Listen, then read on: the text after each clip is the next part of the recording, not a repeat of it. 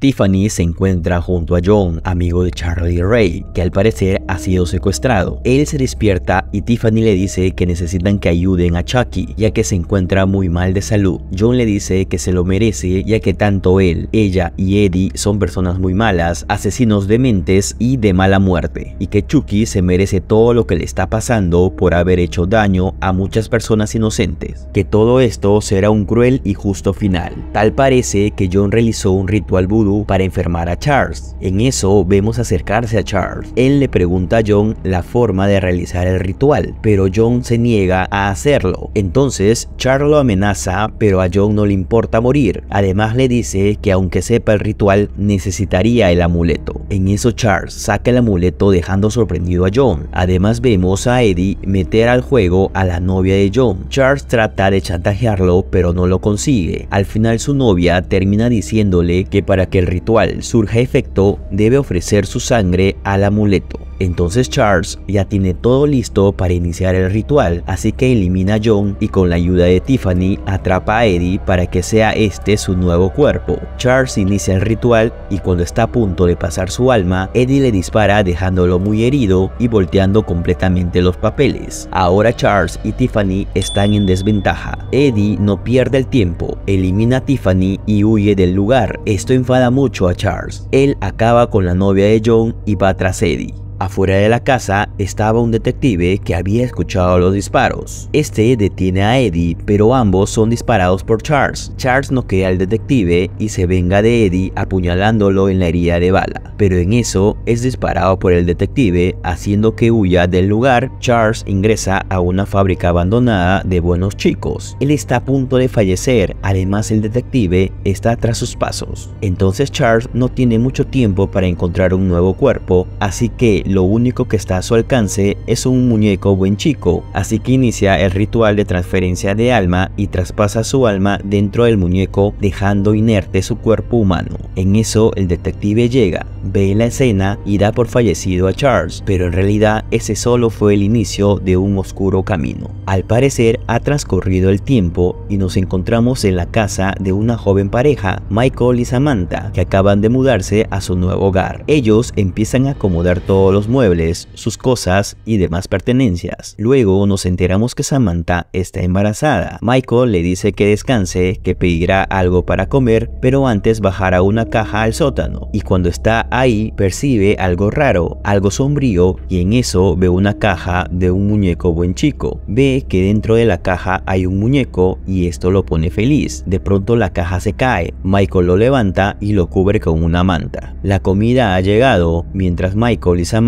están comiendo, ella le pide un minuto de su tiempo. Le dice que le entregará un regalo, pero en realidad es una prueba de embarazo. Esto deja confundido a Michael, pero a la vez lo pone muy feliz, ya que serán padres y podrán formar una familia. Además, Michael le dice a Samantha que él también tiene una sorpresa. Le pide que lo espere un rato. Michael baja al sótano por el muñeco, pero en eso sucede algo muy extraño. Al momento de quitarle la manta y verlo fijamente, empieza a sentir fuertes dolores de cabeza que lo llevan el suelo y las luces empiezan a fallar. Michael regresa con Samantha y le muestra el muñeco. Ella se emociona ya que se trata de un buen chico, un muñeco muy famoso en los años 80, así que ambos dicen que guardarán el muñeco para el bebé. Ella le pregunta a Michael en dónde encontró este muñeco. Michael le dice que en el sótano y quizás le perteneció a la familia que vivió antes en esta casa. Samantha saca el muñeco de la caja y lo hace hablar. Ella se sorprende cuando el muñeco le dice que se llama Chucky, ya que no existió ningún buen chico con ese nombre. Luego, mientras que Samantha se está dando un baño, escucha un ruido que la preocupa. Cuando llega a su cuarto, ve que Chucky está sentado en la cama. Las luces empiezan a fallar y cuando vuelve a ver al muñeco, ve que este lo está mirando y sonriendo. Ella lo levanta de la cama y Chucky la apuñala en su vientre. Ella trata de escapar y Chucky la alcanza. La golpea múltiples veces hasta acabar con ella y su bebé. Al parecer la policía llegó a la escena del crimen y confirmaron la muerte de Samantha y de su bebé y tienen arrestado a Michael por ser el principal sospechoso. Además, él está cubierto de sangre y muy ansioso. En eso llegan dos detectives para interrogarlo y uno de ellos es el detective Norris, que presenció la muerte de Charles. Ellos le preguntan qué fue lo que pasó y Michael les dice que estuvo fuera de su casa manejando su carro y que cuando llegó a su casa encontró la terrible escena. El detective no le cree su versión de los hechos ya que no hay ningún rastro de forcejeo en las puertas ni ventanas para que sospechen de que alguien haya entrado a la casa. Entonces, Michael les dice que lo están señalando como responsable de lo ocurrido y el detective Norris le recalca que él es el único sospechoso. El otro detective le dice que pronto recibirán el reporte forense y cuando tenga las evidencias necesarias lo encerrará en una sucia y oscura celda. En eso Michael deja de llorar y empieza a reírse de una forma muy siniestra y de una forma muy grotesca le pide que lo dejen ir a su casa ya que no lo pueden tener retenido sin ninguna prueba en su contra y cuando el detective tenga en su poder el reporte forense, se dará cuenta que sus manos no están cubiertas de sangre. Además le dice que en la corte culpará de todo lo sucedido al muñeco. El detective se marcha y de pronto las luces de la comisaría empiezan a fallar y vemos a Chucky estar sentado junto a Michael, dejando sorprendido al detective Norris. Fuera de la comisaría, el detective gordo siente que lo están persiguiendo. Él cree que se trata de una broma de sus compañeros, ingresa a su carro y antes de que se marche, vemos a Chucky subir al carro y ahorcar al detective y antes de que éste muera, llega a ver que el muñeco tiene vida y en cierto sentido Michael tenía razón. Al final Chucky coge el arma del detective y acaba con su vida con un disparo por la espalda.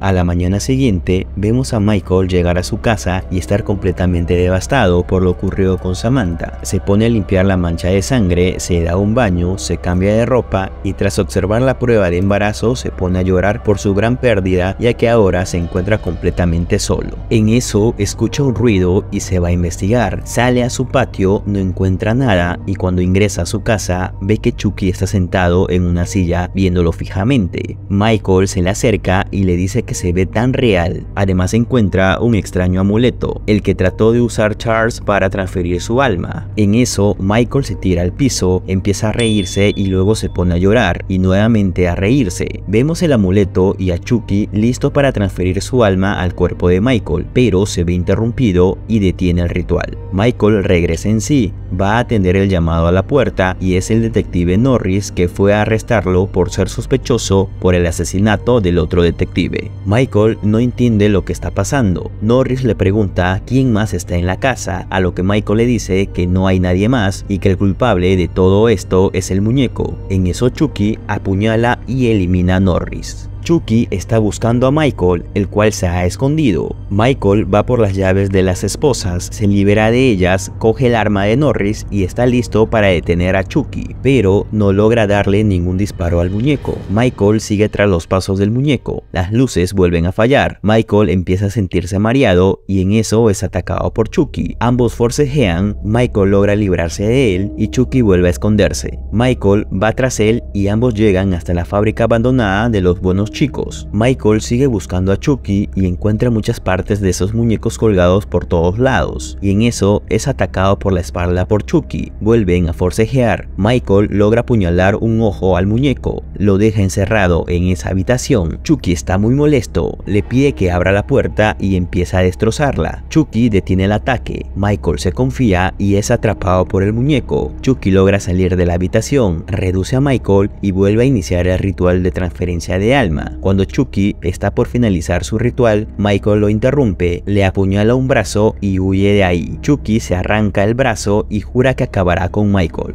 Michael está escondido. Cuando escucha que Chucky está cerca, se levanta y va tras él. De pronto Chucky le lastima un pie, lo hace caer al suelo y lo noquea. En eso, el muñeco se distrae con una pequeña caja musical, lo destruye y justo ahí es atacado múltiples veces por Michael, quedando desfigurado pero no eliminado. Así que Chucky nuevamente ataca a Michael, pero este lo atraviesa con un palo y lo electrocuta en una caja de alta tensión. Pero todo eso no es suficiente para acabar con Chucky, ya que se levanta y va de nuevo por Michael. Pero al final, Michael lo apuñala en su corazón y logra detenerlo. Pero Chucky, antes de morir, le dice que va a acabar con él y al final Michael se desmaya. Luego vemos que ha pasado un año, estamos en otra casa y luego a una niña junto a un muñeco. Ambos están viendo las noticias sobre los múltiples asesinatos que mantienen relación con los cometidos el año pasado, ya que todos tienen el mismo patrón. Ninguna puerta o ventana se vio forzada y encontraron dentro a la víctima. El padre le dice a la niña que aliste sus cosas ya que están tarde, pero ella le dice que espere ya que Chucky quiere seguir viendo las noticias. Ambos salen de la casa dejando solo a Chucky. Y luego vemos que el muñeco se encuentra sentado sobre la cama.